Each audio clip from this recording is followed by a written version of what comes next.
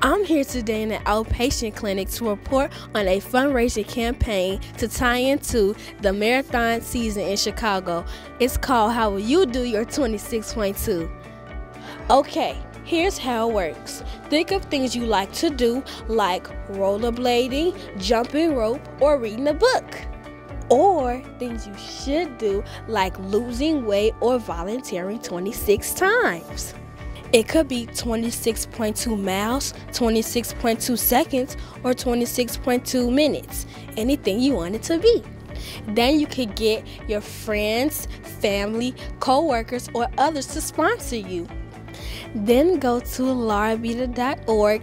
That's L A R A B I D A dot org. See how easy it is? The best part of all, the money you raise will make sure that kids like me get all the quality care we need right here at La Rabida. How will you do your 26.2? I'll swim 26 laps in a pool. You could swim? Oh, cool. How will you do your 26.2? Well, I'm going to do 26 push ups.